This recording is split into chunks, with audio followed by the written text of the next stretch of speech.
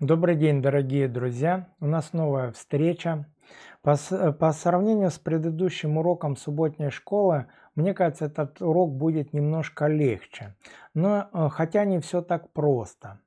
Давайте вместе с вами приготовим сейчас Библию, пособие, ручку, бумагу, потому что может понадобиться.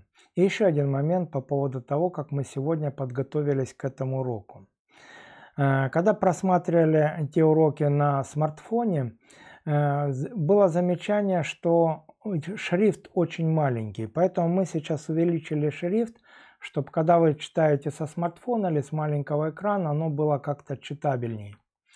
Мы не будем, еще один момент, мы не будем в нашем уроке показывать вот каждый раз схему, как вот этот урок будет из чего состоять. Поэтому мы в самом начале покажем схему, она долго простоит на экране. Вы можете переписать ее или скачать на сайте свиток. Там внизу есть ссылочка, или сейчас на экране посмотрите. То есть там вы эту можете схему или переписать себе, или скачать. Э, но это по поводу нашего проведения урока, небольших изменений. Давайте в самом начале приготовились да, к разбору урока. Э, мы сегодня читаем уже или размышляем над восьмым уроком. Урок называется немножко необычно «Избери жизнь». Вообще само название интересное. Кажется, вроде простое, два простых слова «избери жизнь». Но вроде просто, но с другой стороны, под каким углом смотреть. Понимаете, если мы на этот вопрос будем смотреть с разных точек зрения, у нас начнет нарисовываться интересная картинка. Давайте попробуем это представить. Итак, первая иллюстрация. Вот пример. Допустим, супруг или он, или она, то есть или муж, или жена, э, спрашивают, что ты будешь кушать. Ну, к примеру, суп или борщ. То есть вроде выбор, да, обычный выбор – и ничего больше. Это первый пример. То есть под этим вопросом подразумевается просто вот это слово «выбор». Э, оно не смертельно. Э, захотел, то покушал, захотел, то покушал. То есть это обычный разговор между супругами. Вторая история или вторая иллюстрация. Вот представьте, родитель спрашивает у ребенка, ну если он, допустим, маленький еще, или родители спрашивают у ребенка перед днем рождения. Скажи, пожалуйста, а что ты хочешь, чтобы тебе подарили на день рождения? И рассказывают это или это. А это уже начинается интересная картина. Мне как-то это э, похожа иллюстрация на такую сцену в фильме «Радио». Там интересный такой момент произошел, когда тренер привел одного неблагополучного парнишку в ресторан. Подходит официант и говорит, есть пирог с черникой, есть там с яблок, кажется, с яблоками. И тренер спрашивает у этого мальчика, подростка, а что ты будешь? И мне понравилось, там интересно, этот подросток говорит, оба. Это то же самое, когда родитель спрашивает у ребенка, а что ты хочешь? И говорит на день рождения, вот это или вот это. А если ему хочется все? Это вторая история по поводу выбора. Третья история.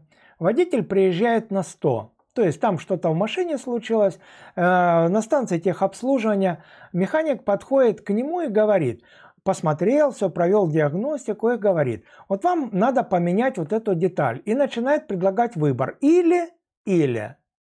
Когда я смотрю на водителя вот в этой ситуации, фактически у него вот здесь начинает в голове сразу зреть два варианта. Или механик хочет на нем хорошо заработать или подсунуть какую-то деталь, чтобы она быстрее сломалась и опять к нему приехал для заработка. То есть э, для человека вот здесь вот этот выбор как бы предполагает уже какой-то подвох. Четвертая иллюстрация. К примеру, директор на заводе или на предприятии начальник подходит к рабочему и говорит, тут надо или вот это, или вот это. Вот для самого рабочего что это такое? Я понимаю, что сегодня, э, когда проблемы с рабочими местами, рабочий не может послать директора куда-то подальше или грубо ему что-то сказать. Понимаете, для человека, для рабочего это начинается проблема или задачка. То есть отказать руководителю неудобно, но нужно что-то сделать. И фактически выбор со стороны директора к рабочему для человека это становится проблемой. Возьмем пятую историю. Или посмотрим с другой стороны. Если взять, допустим, солдат в армии. Допустим, подходит офицер, и чем выше, тем более эта проблема острее, и говорит к солдату, надо или вот это, или вот это сделать. То есть, понимаете, немножко ситуация уже чуть-чуть становится обостреннее, чем на заводе или на предприятии. Потому что в армии очень жестко стоят рамки. Если солдат не захочет выполнить, что говорит офицер, э, самая крайняя мера – это губа. Нет, значит, штрафбат или суд. То есть для человека это уже начинается очень большая проблема. Фактически это уже не выбор со стороны офицера для солдата, а это приказ. И, наконец, мы подходим к шестой иллюстрации. Представьте ситуацию, вот как в нашем уроке. Бог приходит и говорит нам «или-или». То есть Он как бы дает предложение – знаете, когда я смотрю на э, вот именно с этой точки зрения, на вот эту нашу тему, то на телевидении так говорят без комментариев. Или иногда вот так делают пи. То есть что, к чему мы пришли? Даже по самому названию темы. То есть дело в том, что от того, кто говорит, кому говорит, когда говорит, о чем говорит, в каком тоне говорит, даже с каким настроением говорит. Это говорит очень о многом. Это тема нашего урока. То есть сразу с начала темы мы уже э, у нас как бы закладывается фундамент, о чем мы сейчас поговорим. То есть под каким углом зрения мы сейчас начнем разбирать эту тему. Основной стих очень интересно, это Второзаконие, 30 глава, 19 стих. Бог говорит, «Во свидетели перед вами призываю сегодня небо и землю. Жизнь и смерть предложил я тебе, благословение и проклятие, избери жизнь, дабы жил ты и потомство твое».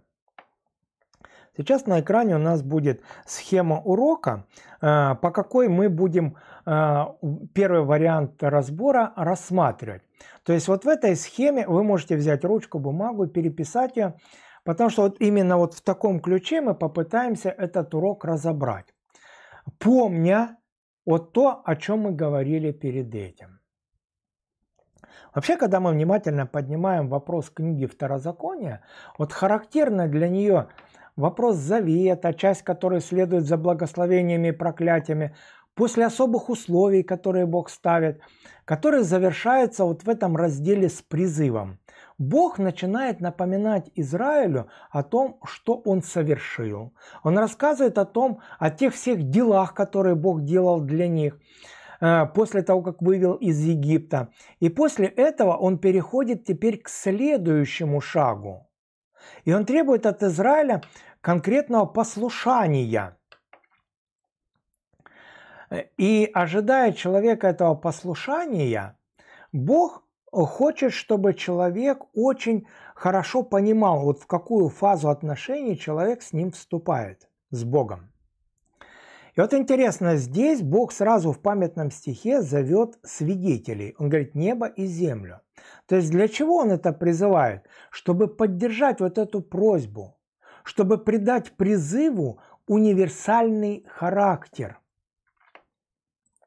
Дело в том, что как тогда, так и сейчас, по большому счету сегодня у человека есть выбор. У каждого человека есть выбор. Э, выбор может быть разный, с разными последствиями. И когда Бог предлагает нам вопрос «жизнь или смерть», это не предопределение. Библия говорит о том, что у каждого человека есть свободный выбор. То есть каждый человек может, посмотрев на то, что Бог предлагает, сделать оценку и в конце концов остановиться на своем выборе. Дело в том, что как тогда, так и сейчас у каждого человека выбор. Причем выбор обязательно приведет или к тому, или к другому. Первая мысль, о которой сегодня вместе с вами поговорим, и самое интересное, что каждый выбор приведет обязательно или к жизни, или к смерти. И вот как по нашей схеме смотрели, первый момент мы поговорим о жизни. Вообще, что такое жизнь? Вообще, это интересный вопрос, что такое жизнь. Бог, Бог сразу человеку предлагает, избери, избери жизнь, дабы жил ты. У меня сразу вопрос, а что такое жизнь? Я когда посмотрел Википедию, посмотрел, как э, пытаются сегодня ученые, э, э, те люди, которые занимаются культу, э, языком, языковеды, как они пытаются это дело определить. И вот когда я посмотрел, что значит в Википедии слово «жизнь», там пытаются разные. Это активная форма материи, это в обязательном порядке какие-то свойства живого содержатся, какая-то совокупность физических, химических процессов. То есть много-много таких моментов, которые говорят, да, это все можно привязать к определению жизни. Но а ученые говорят интересную вещь. Более или менее точно определить понятие жизнь даже сегодня невозможно. Когда мы говорим о жизни, что это такое? А, более или менее точно вот сказать, что это такое, сегодня ни один ученый не сможет вообще сказать. Жизнь. Самое интересное, когда они подводят итог Википедии, они подходят к э, некоторым моментам, которые как бы приоткрывают, что такое жизнь. Во-первых, они говорят о том, что любая жизнь, она а, как бы характеризуется, первое, организацией. То есть какое-то высокоупорядоченное строение. То есть есть организация. Допустим, в муравейнике там есть матка, там есть рабочие, там они строят это все. Точно так же у пчел, в, люб... в стае волков организация есть. Второе, сразу они говорят о том, что любое живое, живое существо э, наделено тако, таким характеристикой, как метаболизм. То есть обязательно получают какую-то энергию, неважно, через корни, через питательную среду, и используют это для того, чтобы себя упорядочивать. Следующий момент – вопрос роста. То есть Человек, это, э, вернее, любое живое существо, оно способно к развитию, то есть растет. Потом адаптация э, к вот этой окружающей среде. Говорят о том, что если даже когда-то вдруг э, случится где-то ядерная катастрофа, то самые первые, которые выживут, говорят, это будут крысы и вороны. То есть это говорит о том, что это самое сильно приспособились к любым изменениям ситуации, такие живые существа. А, еще одна а, характерная особенность живых существ – это реакция на раздражители. Причем это не только, допустим, подносишь руку до собаки, она начинает рычать. Э, это не касается не только жив, жив, животных, Э, есть даже растения, называют недотрогой. Попробуй за листик тронь, и оно сразу так вянет. То есть реакция на раздражители. И еще один момент – это воспроизводство. То есть все живое размножается. И вот та информация, которая содержится на генетическом уровне, в принципе, она как бы содержит вот эту всю программу, как вот это все живое э, строится, растет, э, имеет цвет, вид и все прочее. То есть Википедия говорит, под словом «жизнь» понимают тут период существования как отдельного организма и как от момента того, как он появился, до смерти. А что нам Библия вообще говорит, что такое жизнь вот на эту тему? Когда мы смотрим Ветхий Завет, интересно, Ветхий Завет такое слово использует «нефеш». Оно означает «жизнь», Второе значение – живое существо, неважно какое, животное, человек или люди. Третье – личность. Вот три таких понятия в слове «нефеш». Когда мы открываем Новый Завет, в Новом Завете используется такое слово «зоэй», которое означает «жизнь», то есть проходить свой жизненный путь или долговечность, ну, допустим, 70 лет при большей крепости 80. Второй момент. Это средства к жизни, то есть, когда человек, и у него есть что покушать, во что одеться, где прожить, это тоже называется жизнь. Но сегодня мы привыкли называть это прожиточный минимум. Третий момент – это образ жизни. То есть, как человек прожил. А в основном это говорят уже на кладбище или в некрологе. Вот он прожил хорошо или там лучше помолчим. И четвертый момент – имущество достояние. Это тоже относится в греческом языке зоей к слову «жизнь». Какой можно сделать вывод? Значит, я вижу два вывода. Если взять сегодня ученых, ученые до сих пор не могут сказать вообще, что такое жизнь. То есть конкретно дать полное определение. То есть есть какие-то понятия, но полного определения нет. Если говорить о Библии, то Библия, поднимая этот вопрос, она дает тоже широкий спектр значений, который объясняет не саму э, только деятельность живого человека, но и способ, как он живет, для чего живет, э, как это влияет на других людей. То есть оно как-то более, э, будем говорить, Э, с духовной стороны освещает вопрос жизни. Не просто взять химическую формулу, а показать вообще моральную сторону жизни. Это то, что касается определения. Второй вопрос, который у нас был по схеме, если вы успели переписать, нет, зайдете на свиток, мы говорили о, от того, вернее, от чего зависит жизнь. И если говорить на эту тему, то сразу можно поднять два момента. От чего зависит физическая жизнь и от чего зависит духовная жизнь. И опять же, вроде простой вопрос, как и наша тема, но непростые ответы на этот вопрос, даже если взять нашу физическую жизнь. Мы не берем сейчас вопрос родителей. То есть от родителей зависит, появится ребенок или нет. Вот, допустим, появился. И вот от чего начинает зависеть жизнь конкретного появившегося человека, и не только человека. Первый отрывок, который хотелось бы вместе с вами обсудить, это, первое, это «Бытие», первая глава, с 27 по 29 стих. А, самый большой тут э, ответ это в 20, сейчас э, скажу, 29 стихе. Но я начну сначала. Э, Бог сотворил человека по образу своему, по образу Божию сотворил его, сотворил мужчину и женщину, сотворил их. И благословил их Бог, сказал им Бог, плодитесь, размножайтесь, наполняйте землю, обладайте и владычествуйте над рыбами морскими, над птицами небесными, над всяким животным, присмыкающим на земле. И вот последний стих здесь в этом отрывке. «И сказал Бог, вот я дал вам всякую траву, сеющую семя, какая есть на всей земле, и всякое дерево, которое плод древесный, сеющий семя, вам сие будет в пищу. То есть первый момент или первый фактор, от чего зависит наша физическая жизнь, это от нашего питания. Но это самое первое. То есть Бог предусмотрел сразу же, еще до творения человека, Он уже приготовил, чем человек будет питаться. То есть вопрос питания. Это первый момент. От чего зависит физическая жизнь человека. Когда мы буквально следующую главу Бытие читаем, вторая глава, там с 15 по 17 стих такие, такой отрывок. «И взял Господь, и взял Господь Бог человека, поселил его в саду Едемском, чтобы возделывать его, хранить его, и заповедал Господь Бог человеку, говоря, от всякого дерева в саду ты будешь есть, а от дерева познания добра и зла не ешь от него, ибо в день, который ты вкусишь от него, ну в оригинале написано, умирая, умрешь.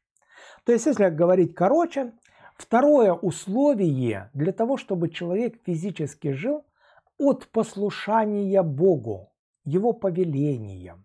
То есть есть какие-то нормы, придерживаясь которой человек может жить или продолжать жить. К примеру, когда вы в аптеке покупаете какое-то лекарство, все равно внутри лежит такая свернутая во много раз бумажечка, типа инструкция, где все есть показания, противопоказания, метод применения, какие побочные вещи. То есть Бог, когда создал человека, говорит, вот есть какие-то правила или законы. Третий отрывок, который хотелось бы поднять вместе с вами, это Бытие 19 глава, 19-20 стих. Но я сначала немножко предыстории расскажу. Дело в том, что эта история Залота, э, когда Бог послал двух ангелов уничтожить пять городов, даже шесть городов, уничтожить в той местности, потому что они развратились до последнего, э, два ангела выводят Лота с его э, семьей из этого города и говорят, мы вот эти города сейчас уничтожим, ты спасайся туда на гору. И интересно, Лот начал просить, да это далеко бежать, я уже старенький, давай вот в этот город пойдем.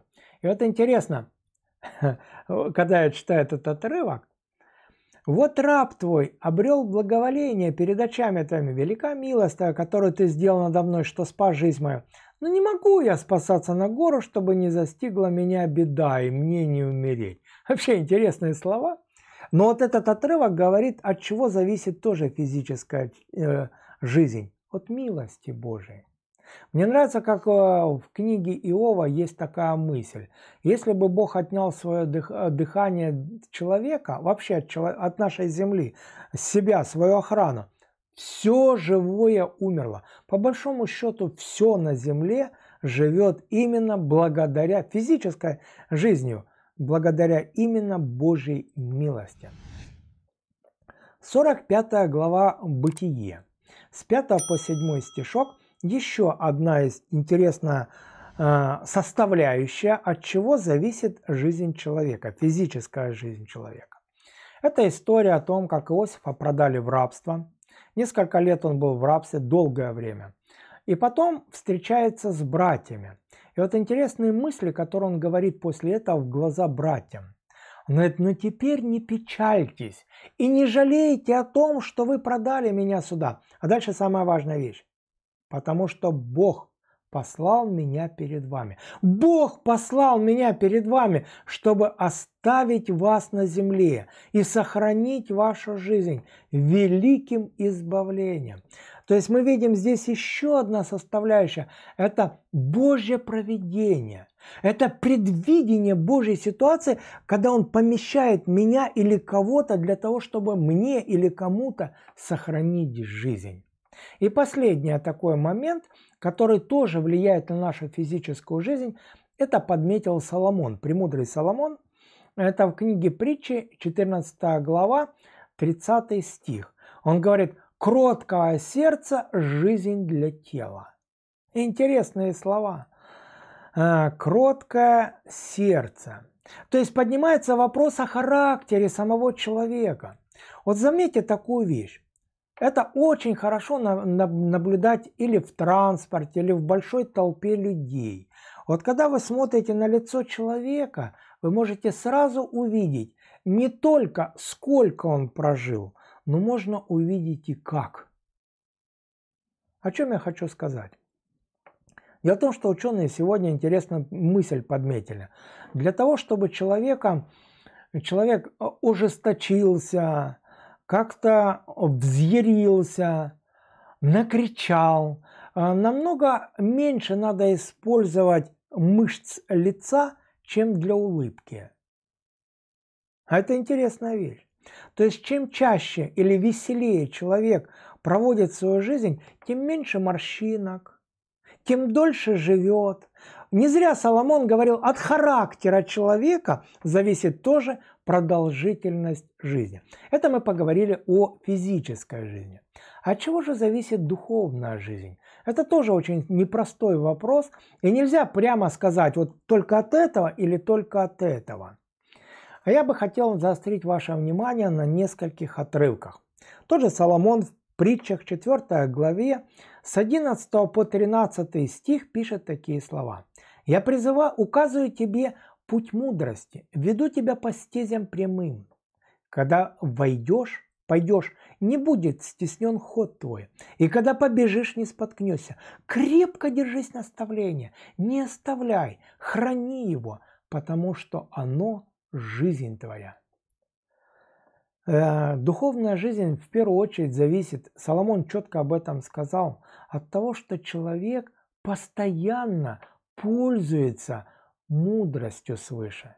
То есть постоянно просят у Бога совета. Духовная жизнь зависит в первую очередь от вот этих особых таких моментов, когда человек спрашивает, а как это сделать, а как то сделать. Второй момент, который хотелось подчеркнуть по поводу духовной жизни. Матфея 19 глава 16-17 стих. И вот некто, подойдя, сказал ему, «Учитель благий, что сделать мне доброго, чтобы иметь жизнь вечную?» Но он сказал ему, что ты называешь меня благим? Никто не благ, как только один Бог. Если же хочешь быть совершенным и войти в жизнь вечную, соблюди заповеди. Это как-то перекликается с тем, что говорил в свое время Соломон, с тем, что говорил в Бытие во второй главе Бог Адаму и Ева. То есть от послушания, от послушания любой воле Божьей зависит не только физическая, но и духовная жизнь. Иоанна, первая глава, четвертый стих. Интересный стих. Вообще эта глава интересная. Иоанн пишет, в нем, речь о Христе, была жизнь, и жизнь была свет человеку. Обратите внимание – Духовная жизнь, она не где-то там по посылке, э, по почте получил, и ты открыл и пользуйся. Духовная жизнь, она сосредоточена во Христе.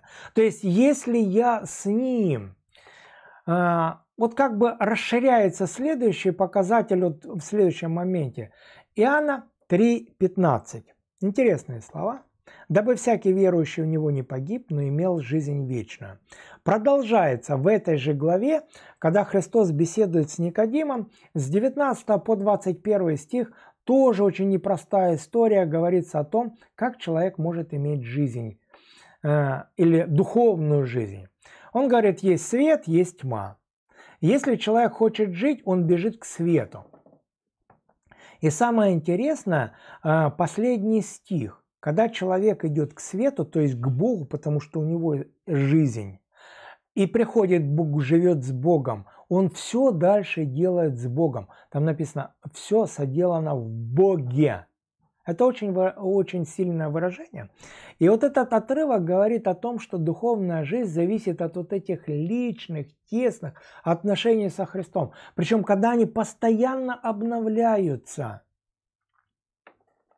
Иоанна 5 глава 39 стих. Большинство христиан его знают. Исследуйте Писание, ибо через них вы думаете иметь жизнь вечную, оно свидетельствует о мне. То есть исследование Библии, оно тоже помогает в моей духовной жизни. Понимание того, того, что Бог говорит мне.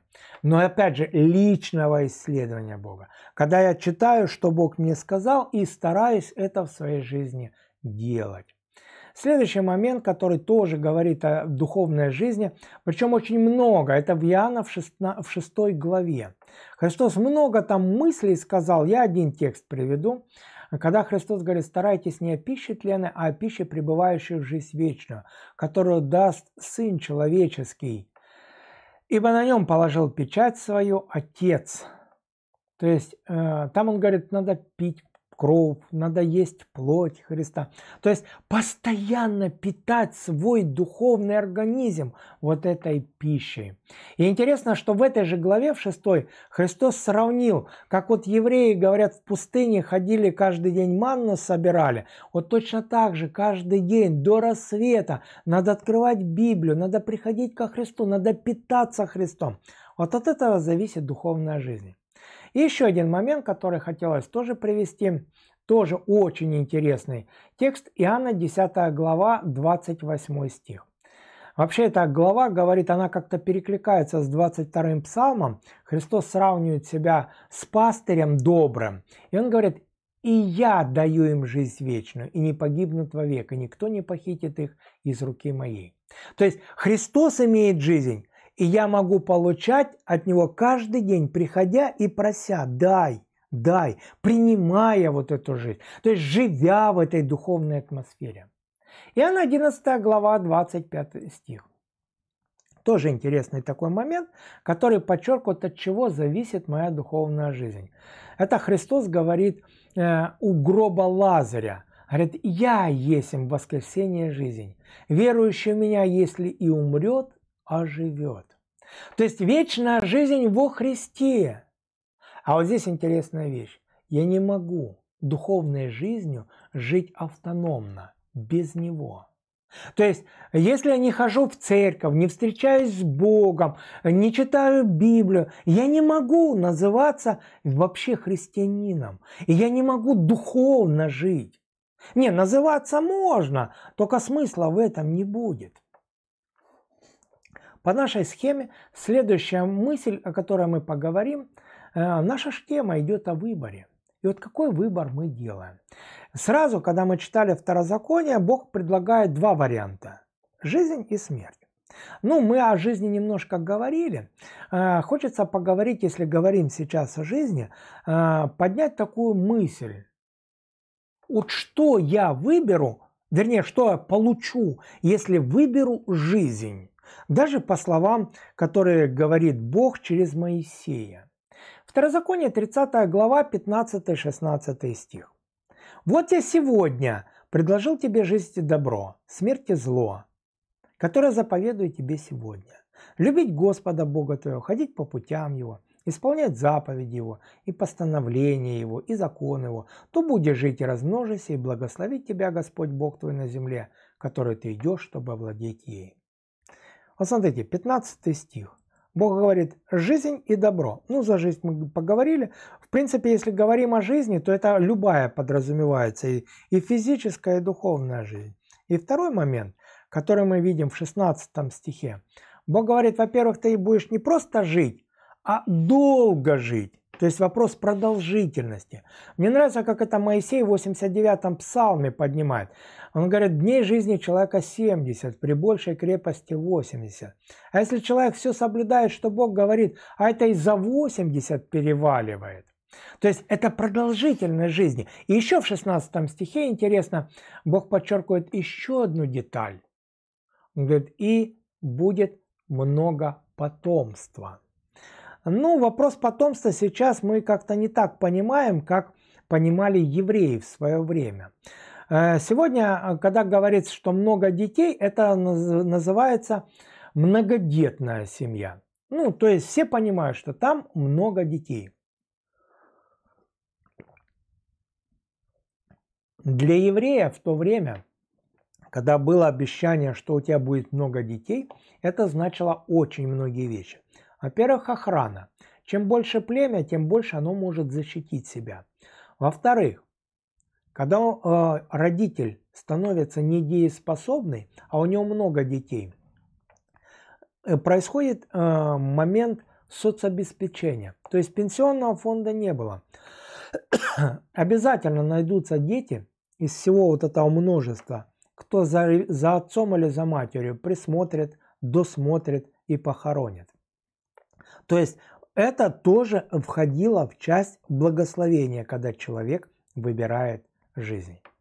Тогда возникает вопрос, а если человек не согласен, то есть ему не нравится то, что Бог предложил, то есть он хочет жить как-то по-своему и выбирает противоположный, делает противоположный выбор в отношении смерти.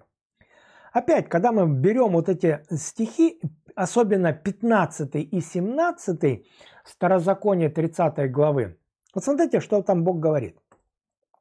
Вот я сегодня предложил тебе жизнь и добро, смерть и зло. Это верхняя часть, нижний 17 стих. Если же отвратится сердце твое, и не будешь слушать, и заблудишь, и станешь поклоняться иным богам и служить им, то дальше в 18 и 19 стихе мы читаем такие слова. «То я возвещаю вам сегодня, что вы погибнете, и не, долг, и не пробудете долго на земле, для владения которой ты переходишь Иордан. Во свидетели перед вами призываю сегодня небо и землю, жизнь и смерть предложил я тебе, благословение и проклятие, избери жизнь, дабы жил ты и потомство твое. Снова много вариантов. Вот если человек выбирает этот путь, то сразу он выбирает, ну раз он не выбирает жизнь, значит он выбирает смерть и зло. Это неразрывные вещи. То есть нельзя человеку выбрать путь э, к смерти, живя в добре. Не, не получится такого. Второй момент. Э, Бог говорит, обязательно, когда ты это сделаешь, такой выбор, твое сердце отвратится вообще от Бога. Но Библия имеет много таких объяснений, как этот процесс называется. Окаменили сердца, очерствели. То есть это момент, когда человек полностью закрывается для Бога. Это второй момент, что произойдет. Третье. Погибнет. То есть человек не просто, то есть он заранее знает, он уже предопределил свой путь. Это не Божий вариант. Это человек сам сделал выбор. И дальше он говорит, не смогут овладеть той землей, которую Бог дал. И вот интересно, когда я смотрю на израильский народ, читая Библию, я вижу все то, что Бог обещал Аврааму, Исааку, Якову, потом Израилю, даже там у горы Синай, евреи это так и не получили. Вот именно потому, что они выбрали вот этот путь. А теперь возвращаемся снова к нашему уроку. Бог говорит, избери. Вообще, что Бог хотел вот этим сказать? Он говорит, два варианта есть. Ты можешь вот этот путь выбрать, можешь вот этот. После того, как Бог говорит о вариантах, Он говорит о каждом последствии каждого выбора. А что вообще подразумевается под этим? Ну, в нашей схеме урока я назвал это включение разума. То есть фактически Бог просит каждого человека, ну, включи вот здесь, чтобы начали работать шестеренки извилины. Давайте посмотрим, как Бог это говорит. Снова возвращаемся. Второзаконие, книга Второзакония, 30 глава, 15-16 стих. Он говорит, я тебе предложил. Это добро или зло? Я тебе говорю, пожалуйста, ходи. Если ты будешь так делать, будет вот это. И вот когда мы смотрим дальше, 17-18 стих. «Если ты отвратишь свое сердце и не будешь слушать, заблудишься, станешь поклоняться другим богам, будешь им служим, то я возвещаю вам сегодня, что вы погибнете». Дальше, когда я продолжаю читать этот отрывок, смотрите, он говорит, «Во свидетели перед вами призываю сегодня небо и землю, жизнь и смерть предложил я тебе, благословение и проклятие, избери жизнь, дабы жил ты потомство, ты любил Бога, слушал глаз его, прилеплялся к нему». То есть, смотрите, Бог дает предложение, Бог озвучивает все варианты, что будет. Поэтому э, человек может сначала сделать оценку. То есть Бог пришел, Бог предложил. Есть два варианта. Каждый вариант имеет такие последствия. И что интересно, человек имеет возможность после того, как все это услышал, взять калькулятор и все просчитать. То есть все плюсы и минусы. То есть человек не только выбирает, он своим выбором он решает теперь встретить то, что за этим выбором последует. И дальше в его судьбе никто не будет виноват. Ни Бог, ни обстоятельства, ни родители. Он сам делает обдуманно свой выбор. И здесь уже работает разум человека. Но интересно, что еще один момент. Когда мы смотрим за этот процесс, который Бог предлагает, чтобы человек включился, Бог всегда, давая выбор, рассказывая о последствиях, подталкивая человека к выбору, никогда не будет вот так пинать, чтобы человек дальше сразу выбрал. Он обязательно дает время, чтобы человек подумал. А иногда, может, и попробовал тот или тот вариант а потом одумался и снова вернулся. Кстати, с евреями так и было. И второй момент вот в этой части э, я бы хотел поговорить еще об одной очень важной составляющей выбора. Дело в том, что когда мы говорим о выборе, даже то, что мы читали во Второзаконии, вы заметьте одну вещь. Когда Бог предлагает вопрос выбора, говорит, выбери или то, или то. Если человек выбирает путь противления Богу, сразу же начинается вопрос прилепления к другим богам, поклонения другим богам. То есть помимо выбора здесь тут же переплетается еще вопрос объекта поклонения. А это очень интересный момент. То есть как только встает вопрос выбора, вопрос встает и кому я буду поклоняться. Давайте посмотрим, что об этом нам говорит Библия. Опять же есть выбор. 13 глава Откровения, с 11 по 12 стих мы читаем такие слова. «И увидел я другого зверя, выходящего из земли. Он имел два рога, подобные агнчим, и говорил, как дракон. Он действует перед ним со всей властью первого зверя и заставляет всю землю живущих на ней поклоняться первому зверю, у которого смертельная рана исцелена. То есть это первый вариант, кому поклоняться. А, когда мы читаем э, следующий момент, 13-14 стих. «И творит великие знамения, так что и огонь не сводит с неба на землю перед людьми, и чудесами, которые дано было ему творить перед зверем, он обольщает живущих на земле, говоря живущим на земле, чтобы они сделали образ зверя, который имеет рану отмечая жив.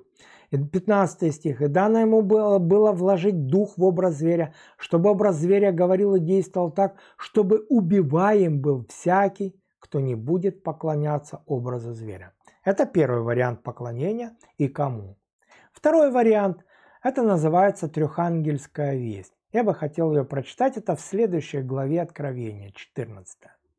И видел я другого ангела, летящего посреди неба, который имел вечное Евангелие, чтобы благовествовать живущим на земле. И говорил он громким голосом, «Убойтесь Бога, воздайте Ему славу, ибо наступил час суда Его, и поклонитесь сотворившему небо, землю, море и источники вод». И другой ангел следовал за ним, говоря, «Пал, пал Вавилон, город великий, потому что яростным вином блуда своего напоил все народы». И третий ангел последовал за ним, говоря громким голосом, «Кто поклоняется зверю и образу его, принимает начертания на чело свое, на руку свою, тот будет пить вино ярости Божией, вино цельное, приготовленное в чаше гнева его, и будет мучим перед, в огне и сере перед святыми ангелами и перед Агнцем и так дальше. И вот 12 стих, интересно, здесь заканчивается эта история. Здесь терпение святых, соблюдающих заповеди Божии и веру Иисуса. То есть что мы видим? Вот в этой вселенской битве за разум человека идет борьба между двумя силами – Богом и дьяволом. И что интересно, как Бог, так и дьявол претендует на поклонение. Но когда я смотрю со стороны Бога, это происходит как отклик человека на спасение. То есть, э, когда Бог проявил свою милость и благодать, человек откликается и из, из чувства благодарности начинает поклоняться Ему.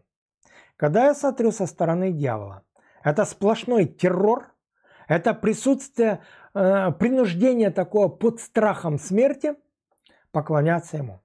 И что интересно, ни Бог, ни дьявол не могут сегодня заставить человека поклоняться. Это личный выбор человека.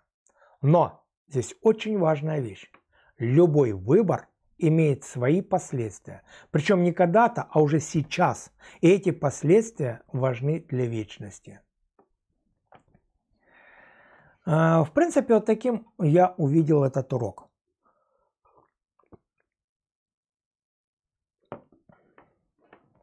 То есть, смотрите, когда Бог поставил Адама в самом начале и Израиля перед выбором между жизнью и смертью, он не просто сказал, вот оцени, скажи мне «да».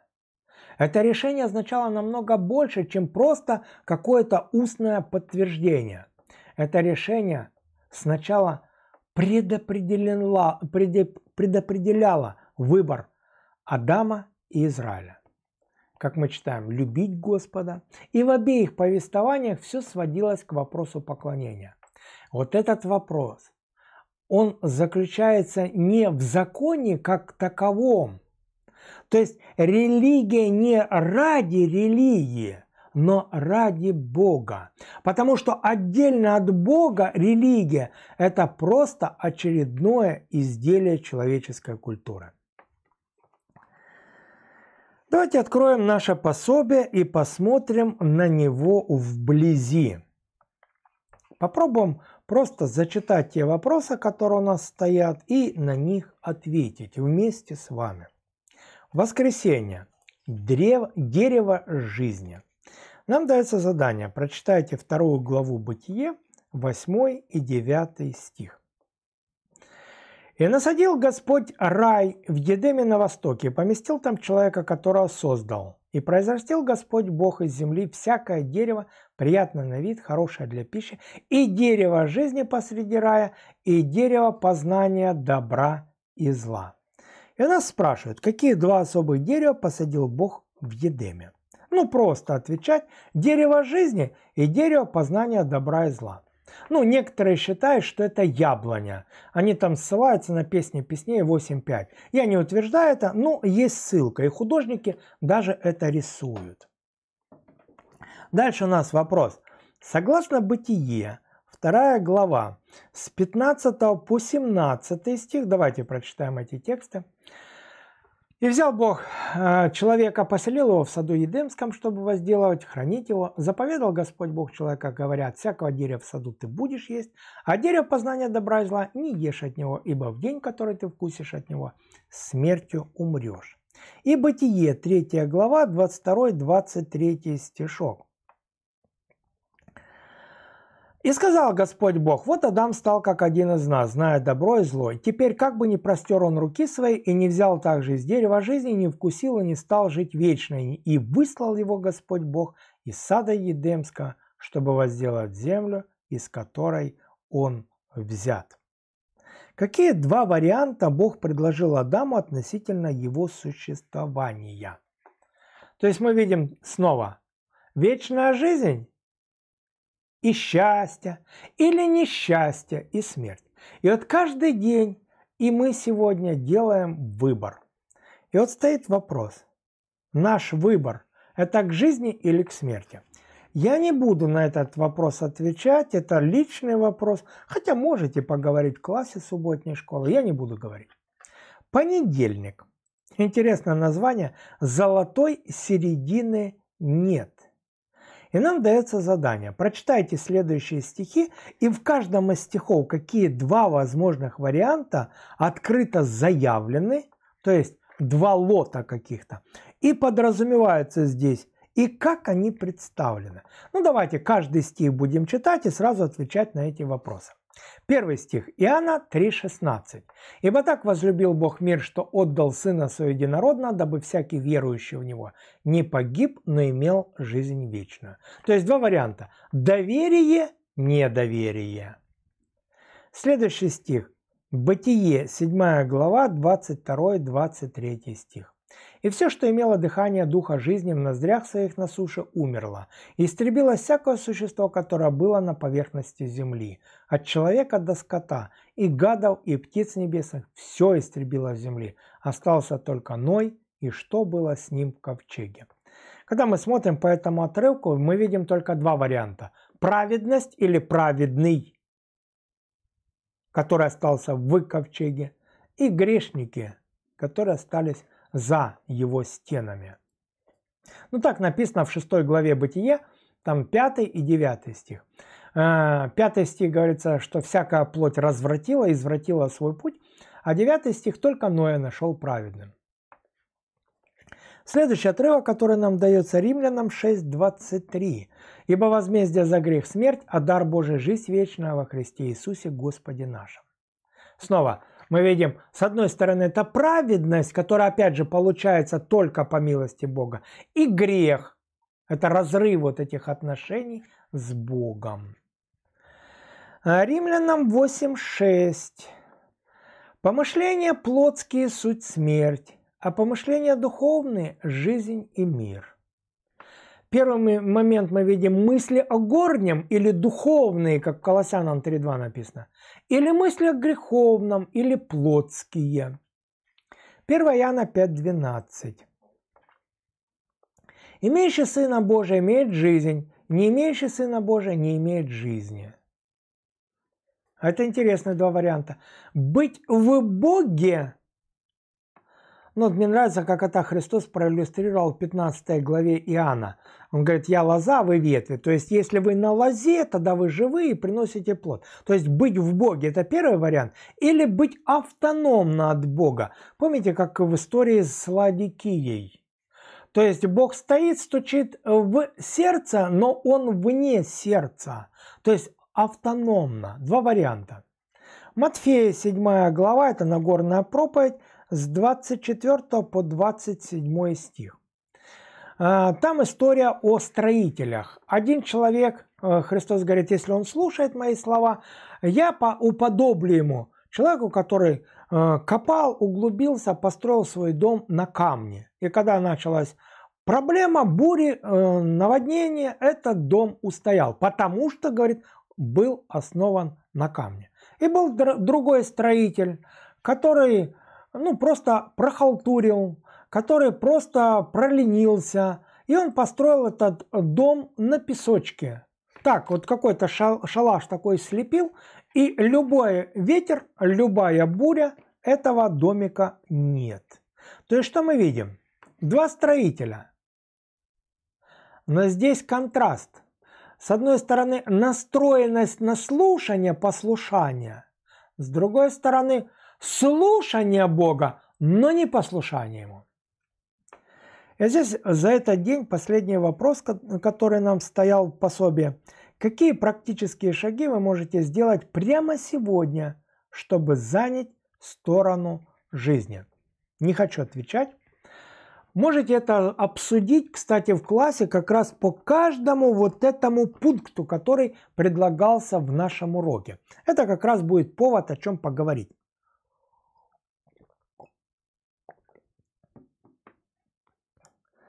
Вторник. Длинное название. Жизнь и добро, смерть и зло, благословение и проклятие. Снова нам предлагается прочитать Второзаконие 30 глава с 15 по 20 стих. А, давайте так. Я, я не буду читать этот отрывок, потому что он у вас, мы уже читали его э, в предыдущем таком разборе первой, в первой части этого урока. Мы не будем читать все эти моменты, но здесь дается задание. Когда мы просматриваем все эти, этот, э, там с 15 по 20 стих, какие последствия каждого выбора. То есть есть два выбора. И вот смотрите, какой у нас первый выбор. Вот по вот этому отрывку. Давайте посмотрим, какой первый выбор. Первый. Можете себе там э, в уроке сразу же прописывать. Любить Бога, ходить по путям Его, исполнять заповеди Его, исполнять постановления Его, исполнять законы Его. Хотя это почти синонимы, но это разные вещи. Это первый выбор. Какие же возникают последствия? Когда я смотрю по этому отрывку, то это «будешь жить и размножаться», благословить тебя Господь Бог твой на земле. Но есть второй выбор. Выбор номер два. Вот по этому отрывку. Отвратится сердце твое, не будешь слушать, заблудишь, станешь поклоняться иным богам, будешь служить иным богам. И сразу возникают последствия такого выбора. Погибнете и не пребудете долго на земле. И дальше нам предлагается остановиться все-таки на 20 стихе. Давайте снова его прочитаем. Мы хотя его читали, но прочитаем снова этот стих. Бог говорит, «Любил Господа Бога твоего, слушал глаз его, прилеплялся к нему, ибо в этом жизнь твоя, долгота дней твоих, чтобы пребывать тебе на земле, которую Господь с клятвой обещал отцам твоим, Аврааму, Исааку, Иакову дать им». И вот просят, обратите внимание на связь между любовью и послушанием. Вообще, что должен делать Израиль, чтобы оставаться верным Богу? Что следует делать сегодня тебе, чтобы проявить верность Богу? Ну, если по этому отрывку, любил Бога, слушал глаз его, прилеплялся к нему. Вообще сократить можно до одного выражения. Вопрос отношений. Обратите внимание, ни слова о делах, сначала отношения. Значит, что следует делать сегодня тебе, чтобы проявить верность Богу? Ну, это личный вопрос. Хотите, обсуждайте в классе, но это личный вопрос. Среда. Не недоступна для вас. И вот здесь нам предлагается прочесть. Второзаконие, 10 глава, это большой отрывок. Давайте мы его, наверное, все-таки прочитаем полностью, потому что это очень интересная вещь. 30 глава Второзакония. Я бы хотел этот отрывок прямо сейчас с вами зачитать. И мы прочитаем с 1 по 10 стишок. Там так нам даже больше, по 14. Но мы будем первые сначала 10 читать, как предлагается. «Когда придут на тебя все слова сии, благословения и проклятия, которые, я, которые изложил я тебе, и примешь их к сердцу своему среди всех народов, в которые рассеет тебя Господь Бог твой, и обратишься к Господу Богу твоему, и послушаешь глаз его, как я заповедую тебе сегодня, ты и сыны твои от всего сердца своего и от всей души твоей. Тогда Господь Бог твой возвратит пленных твоих и умилосердится над тобой, и опять соберет тебя от всех народов, между которыми рассеял тебя Господь Бог твой. Хотя бы ты был рассеян до края неба, и оттуда соберет тебя Господь Бог твой, и оттуда возьмет тебя, и приведет тебя Господь Бог твой в землю, которую владели отцы твои, и получишь ее во владение, и облагодетельствует тебя, и размножит тебя более отцов твоих, и обрежет Господь Бог твой сердце твое, и сердце потомства твоего, чтобы ты любил Господа Бога твоего от всего сердца твоего и от всей души твоей, дабы жить тебе. Тогда Господь Бог твой все проклятия сии обратит на врагов твоих и ненавидящих тебя, которые гнали тебя. А ты обратишься и будешь слушать гласа Господа и исполнять все заповеди Его, которые заповедую тебе сегодня. С избытком даст тебе Господь Бог твой успех во всяком деле рук твоих, в плоде чрева твоего, в плоде скота твоего, в плоде земли твоей, ибо снова радоваться будет Господь о тебе, благодетельствуя тебе, как Он радовался об отцах твоих. Если будешь слушать гласа Господа Бога твоего, соблюдая заповеди Его, постановления Его, написанные в всей книге закона, и если обратишься к Господу Богу твоему всем сердцем твоим и всею душою твоею. И у нас стоял вопрос, Какие обетования дает Бог своему народу, если люди покаются после своего непослушания? И вообще, что это говорит нам о Божьей благодати? Когда я читаю вот этот большой отрывок, Бог возвратит пленных. Замечайте, почему возвратит? Они же были непослушны, а потом поняли и вернулись к этому. Дальше умилосердится над тобой, соберет Господь, то есть имеется в виду вот этот плен, из плена вернет.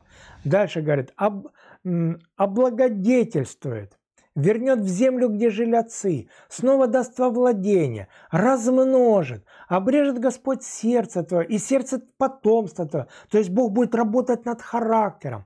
Он сделает все, чтобы ты любил Господа Бога твоего от всего сердца твоего. То есть работа над отношениями. Он дальше говорит, все проклятия обратит на врагов твоих. Он говорит, будешь слушать глаза Господа, исполнять заповеди. То есть вопрос послушания. И дальше он говорит, с избытком даст тебе Господь Бог твой успех во всяком деле рук твоих, в плоде чрева твоего, в плоде скота твоего, в плоде земли твоей. И снова радоваться будет Господь о тебе, благодетельствуя тебе. И вот что это говорит нам о Божьей благодати? Когда я смотрю на этот отрывок, Бог снова и снова готов прощать, проявлять любовь, заботу, покровительство, спасать для вечности. И дальше, продолжая размышлять над этим отрывком, Мы читаем с 11 стиха. «Ибо заповедь сия, которую я заповедую тебе сегодня, не недоступна для тебя и недалека. Она не на небе, чтобы можно было говорить, кто взошел бы для нас на небо и принес бы ее нам, и дал бы нам услышать ее, и мы исполнили бы ее. И не за морем она, чтобы можно было говорить, кто сходил бы для нас за море, и принес бы ее нам, и дал бы нам услышать ее, и мы исполнили бы ее. Но весьма близко к тебе слово сие, оно в устах твоих и в сердце твоем, чтобы исполнять его. И вот нас просят, пожалуйста, прокомментируйте вот эти слова. Что вообще эти слова значат? Вот эти выражения «не недоступно» и «недалека». Когда я смотрю на этот отрывок, вот здесь в этом отрывке Моисей призывает народ к исполнению заповедей, от которых Бог, в которых Бог свою волю открыл.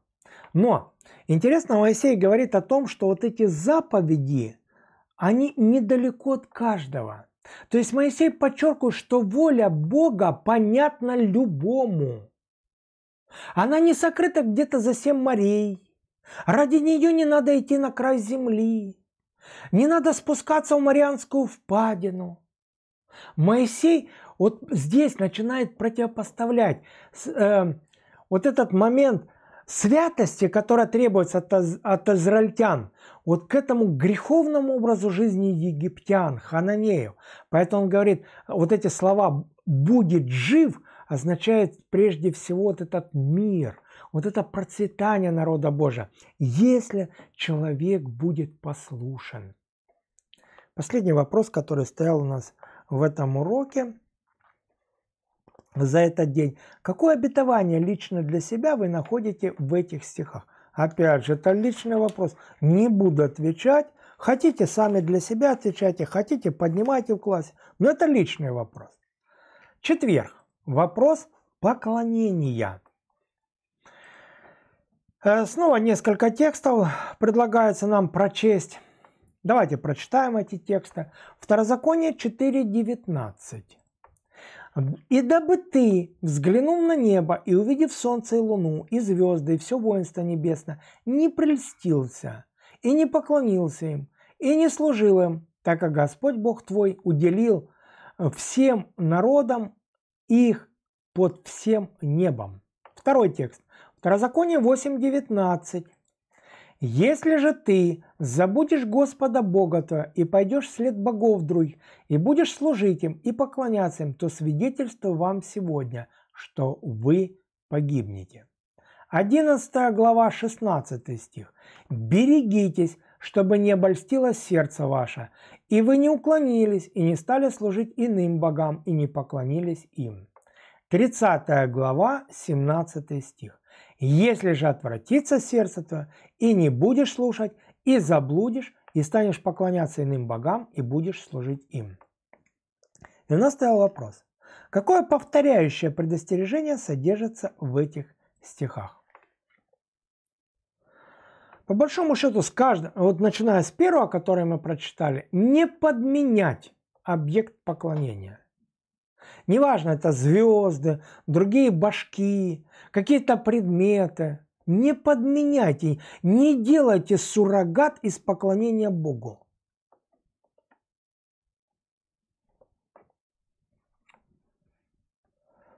Читаем дальше вопрос. Почему это предостережение было так важно для народа израильского?